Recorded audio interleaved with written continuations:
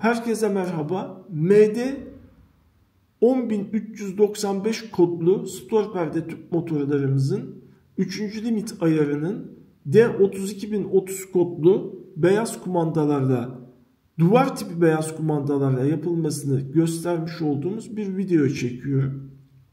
Bu işlem için öncelikle alt ve üst limit ayarlarının daha önceden yapılmış olması gerekiyor.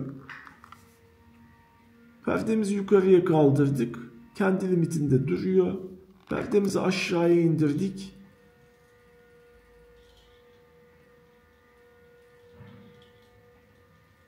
Kendi limitinde duruyor.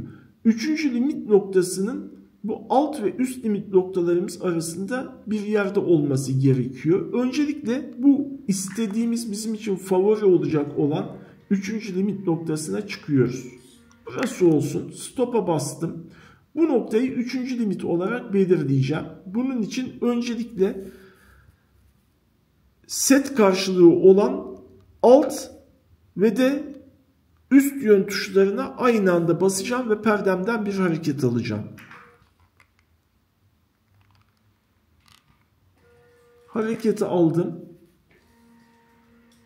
Ardından alt yön tuşuna uzuncana basıyorum. Perdemden bir hareket daha aldım. Akabinde stop tuşuna bir defa uzuncana basıyorum. Tekrar uzuncana stop'a basıyorum. Hareketi aldım. Bu bize üçüncü limitin ayarlandığını gösteriyor. Perdemi aşağıya indirdim.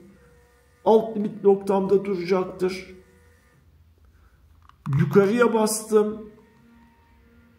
Üst limit noktamda duracaktır.